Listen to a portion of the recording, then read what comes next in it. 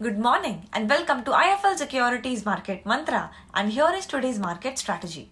Short-term strategy buy ICICI Bank at rupees 750 to rupees 755 for a stop loss of rupees 740 and a target price of 780.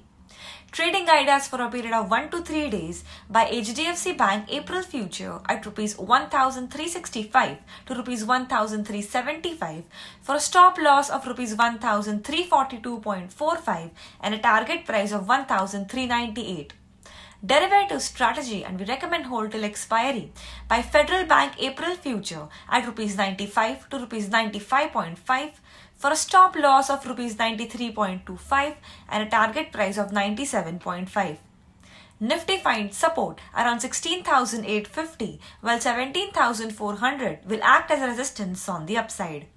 Bank Nifty finds support around 35,250 while 36,500 will act as a resistance. That's it for today folks and thank you for watching IIFL Securities Market Mantra. Please like and subscribe this channel for regular market updates and strategies. Thank you and take care.